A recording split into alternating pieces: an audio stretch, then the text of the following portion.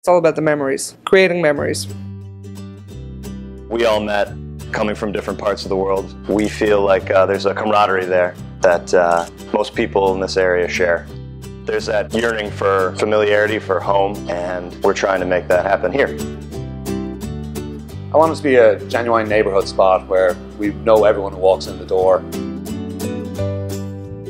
You guys want to come in and hang out, go upstairs to the pool room, you put on whatever music you want to hear and just play some pool and have some beers. It's two floors, so you, you know you can be doing two completely different different things.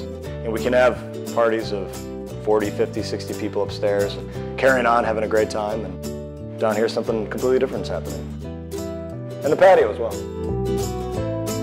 I'm very, very passionate about cooking. It's, it's why I wake up every morning. To cook professionally for people, to watch their enjoyment on their faces when they're eating. That is what gives me a lot of pride and joy. It's definitely about creating memories, having people in, having a good time, and then they remember back the important occasions that happen here with us. To be a part of that, to be to be the one creating the memories for people and providing the platform to create the memories is a it's a very proud thing. Welcome to Exiles, a place where everybody can come together and get to know one another and become friends, like we did.